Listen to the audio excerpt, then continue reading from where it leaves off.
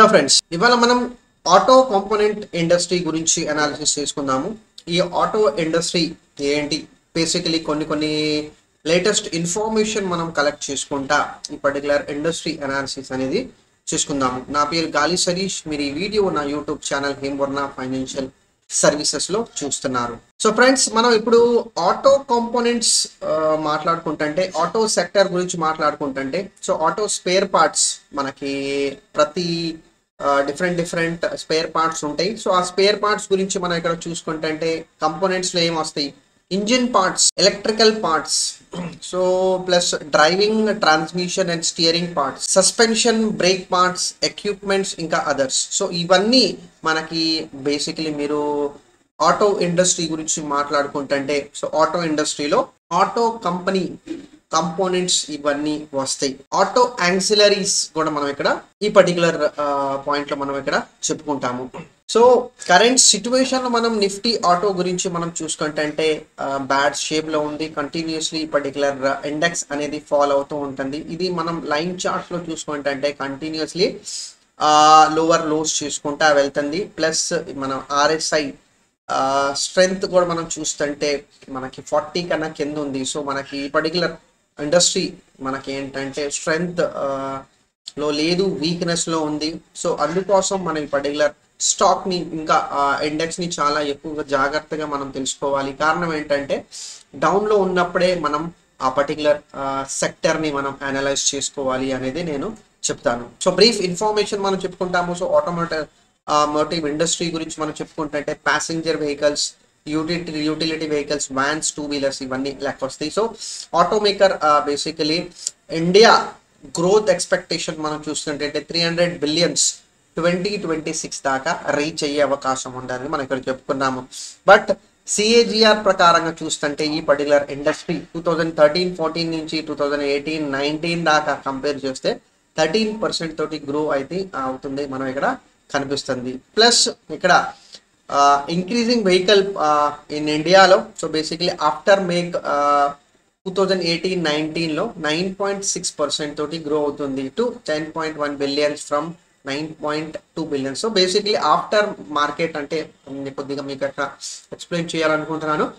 So aftermarket అనేది ఏంటంటే uh, sales చేసేసాము.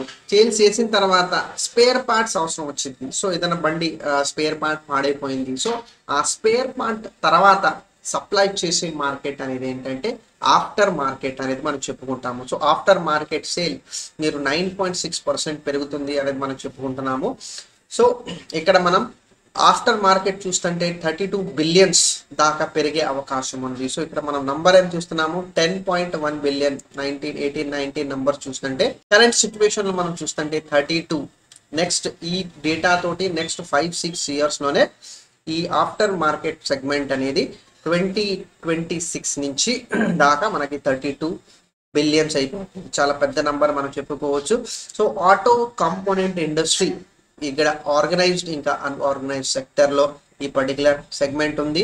సో ఆర్గనైజ్డ్ సెక్టర్లో మనం చూస్తుంటే basically original equipment manufacturers and is engaged in manufacturing of high value precision investments so ఇక్కడ OEM గురించి మనం మాట్లాడుకుంటుంటే బేసికలీ ఏంటంటే కంపోనెంట్స్ అన్ని స్పేర్ పార్ట్ కంపోనెంట్స్ అనుకుందాం. ఫర్ ఎగ్జాంపుల్ మనం మారుతి గురించి మాట్లాడుకుంటుంటే సో మారుతి అనేది ఏంటంటే ఓఈఎం కింద దాన్ని లెక్కేసుకుంటారు. సో ఓఈఎం అనేది ఏంటంటే ప్రపంచం నుంచి అన్ని స్పేర్ పార్ట్స్ ఇండియాలో తెచ్చి దానికి ఇక్కడ మ్యానుఫ్యాక్చరింగ్ అసెంబల్ చేసుకొని దాన్ని సప్లై చేసే దానికి మనం ఓఈఎం అనేది మనం చెప్తాము. సో ఈ కాన్సెప్ట్స్ తోటి మనం తెలుసుకుంటే ఓఈఎం మ్యానుఫ్యాక్చరింగ్ హబ్ అనేది మనకి ఇక్కడ కనిపిస్తుంది. సో ఇది చాలా మంచి పాయింట్ మనం చెప్పుకోవచ్చు. దీంతో పాటు సబ్ సెక్షన్స్ మనం మాట్లాడుకుంటుంటే. సో ఇక్కడ engine parts driving transmission steering parts body chassis suspension braking parts ఇవన్నీ మనం ఇందాక చెప్పుకున్నాం కదా. సో ఇది point. So reason for investment ఇండియాలో ఇన్వెస్ట్మెంట్ ఎందుకు చేసుకోవాలి? ఎందుకు చేస్తున్నారు అనేది మనం ఇక్కడ చూసుకున్నాము స్టేబుల్ గవర్నమెంట్ ఉన్న చోట డెఫినెట్లీ గ్రోత్ అనేది కనిపించింది. సో ఏదైనా గవర్నమెంట్ ఒక పర్టికులర్ పార్టీ గవర్నమెంట్ అనేది నేను ఇట్లా చెప్పను. ఏదైనా గవర్నమెంట్ కంటిన్యూస్లీ ఉంటా ఉంటే డెఫినెట్లీ స్టెబిలిటీ ఇచ్చింది ఆ పర్టికులర్ కంట్రీ గ్రోత్ విషయంలో. సో ఆ పాయింట్ మనం ఆ, ఒకటి ఆలోచించాలి. రెండోది ఏంటంటే ఇండియా డొమెస్టిక్ మార్కెట్ చాలా పెద్ద మార్కెట్ ఇది. దీన్ని ఇగ్నోర్ చేయలేము. ప్లస్ బేసిక్లీ మనం చెప్పుకునేది ఏంటంటే ఇన్ఫ్రాస్ట్రక్చర్ మీద ఇండియా అనేది ఎక్కువగా ఇన్వెస్ట్మెంట్ చేస్తుంది. దానివల్ల కూడా మనం ఇక్కడ చెప్పుకుంటున్నాము.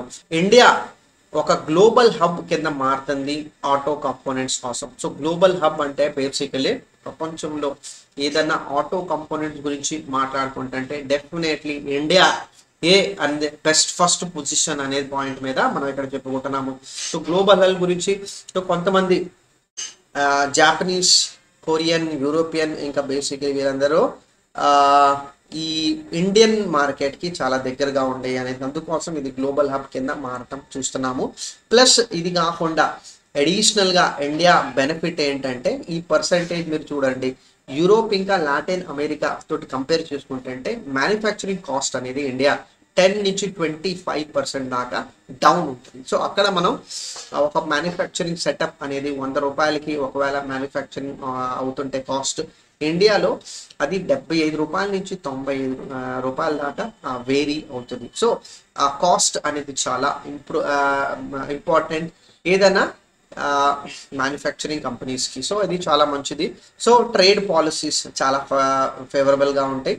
సో అది కూడా మనం చూస్తున్నాము. గ్లోబల్ వాల్యూ చైన్ యాడ్ చేసింది కంపోనెంట్ సో ఈ పాయింట్స్ తోటి బేసిక్లీ ఇంకొక పాయింట్ మనం చెప్పుకోవచ్చు. So special auto parks design auto design centre training institute ఇవన్నీ ఇన్ఫ్రాస్ట్రక్చర్ డెవలప్ అవుతున్నాయి ప్లస్ ఇక్కడ మనం సెస్ చూస్తున్నాము. సెస్ ఏంటంటే basically special economic zones so special economic zones ఎందుకు తయారు చేస్తారంటే బేసిక్లీ అక్కడ సెటప్ చేసిన మ్యానుఫ్యాక్చరింగ్ ప్లాంట్ అనేది మనం ఎక్స్పోర్ట్ చేసుకుంటానికి అవకాశం ఉండటానికి మనం స్పెషల్ ఎకనామిక్ జోన్స్ గురించి మనం చెప్పుకుంటాము. సో ఇది చాలా important point working population improve అవుతుంది.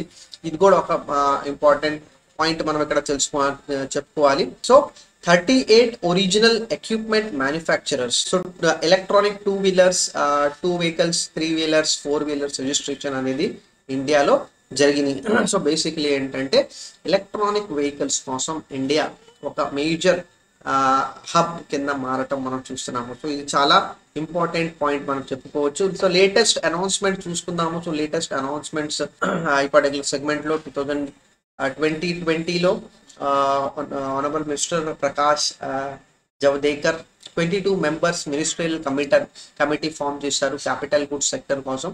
సో బేసిక్లీ ఏంటంటే ఏదైనా అవసరానికి ఫైవ్ ట్రిలియన్ ఎకానమీకి ఇక్కడ వన్ ట్రిలియన్ మ్యానుఫ్యాక్చరింగ్ సెక్టర్ నుంచి రావాలి అనేది మనం ఇక్కడ చూస్తున్నాము. సో అది చాలా ఇంపార్టెంట్ పాయింట్ మనం చెప్పుకోవచ్చు. సో హెవీ ఇండస్ట్రీ కి ఇక్కడ మనం చూస్తుంటే టూ వీలర్ నుంచి హెవీ ట్రైలర్ మీద కూడా ఫోకస్ చేయాలి. So twenty ninth June twenty twenty లో మనకి ఇది వచ్చింది. సో నాట్రాక్స్ ఇంకా హెచ్హెచ్టి సో ఇవన్నీ బేసికలీ ఏంటంటే ఆటోమొబైల్ వెహికల్స్ కోసం ఇది తీసుకొని రావటం జరిగింది. సో రీసెంట్లీ మనం చూస్తున్నాము. సో హెవీ ఇండస్ట్రీలో one five nine zero vehicles so basically one sixty central ఇంకా స్టేట్ గవర్నమెంట్ డిపార్ట్మెంట్స్లో ఫార్టీ నైన్ సిక్స్టీస్ సిటీస్లో డిప్లాయ్ అయిపోవడం జరిగింది. సో ఎలక్ట్రికల్ వెహికల్స్ సెంట్రల్ ఇంకా స్టేట్ గవర్నమెంట్ వెహికల్స్ అనేది మనం చూస్తున్నాము. సో ఎలక్ట్రిక్ వెహికల్స్ మీద చాలా ఎక్కువగా ఫోకస్ చేస్తున్నారు. సో ఇక్కడ మనం చూస్తున్నాము. సో ఇండియన్ ఆటోమొబైల్ కంపోనెంట్స్ గురించి మాట్లాడుకుంటుంటే ఇక్కడ ఇండియా జీడిపి అనేది ఫైవ్ టు సెవెన్ పర్సెంట్ తోటి పెరగడం చూస్తున్నాము. By twenty twenty six five percent ఉండేది. ఇది సెవెన్ పర్సెంట్ కింద మారింది ఇంకా నెక్స్ట్ ఫైవ్ సిక్స్ ఇయర్స్లో ఇది మనం చూస్తున్నాము. So automobile components in India contributes to two point three percent of India's total GDP so GDP వంద ఉంటే టూ పాయింట్ త్రీ పర్సెంట్ దాకా పెరుగుతుంది. మనం చెప్పుకుంటున్నాము ప్లస్ ఇంకొక విషయం ఏంటంటే ఎంప్లాయ్మెంట్ గురించి మాట్లాడుకుంటుంటే one point five million people అనేది డైరెక్ట్లీ ఆటోమొబైల్ కంపెనీస్ తోటి జాబ్లో అంటే పని చేస్తున్నారు. ప్లస్ ఇండైరెక్ట్లీ ఇంకొక double hundred percent one point five millions so అదేంటంటే సింపుల్గా పదిహేను లక్షలు మనుషులు డైరెక్ట్లీ ఇండైరెక్ట్లీ సో మొత్తం ముప్పై లక్షల మనుషులు ఇండియాలో ఆటోమొబైల్ సెక్టర్లో ఇన్వెస్ట్మెంట్ అనేది చేస్తున్నారు. సో మిషన్ మనం చూస్తుంటే త్రీ పాయింట్ టూ మిలియన్ దాకా ఇంప్రూవ్ అవటం మనం ఇక్కడ చూస్తున్నాము. సో ఈ నంబర్ మనకి చాలా ఇంపార్టెంట్ సో గ్రోత్ డ్రైవర్స్ చూసుకుందాము. సో ఏ పాయింట్ మీద గ్రో అవుతుంది? So basically under public procurement orders two thousand seventeen so twenty ట్వంటీలో ఇది ఏంటంటే promote manufacturing of automobiles and automobile components so basically ఇది చాలా ఇంపార్టెంట్ పాయింట్ మనం చెప్పుకోవచ్చు. ఆటోమొబైల్ సెక్టర్ని ఇంప్రూవ్ చేయాలి.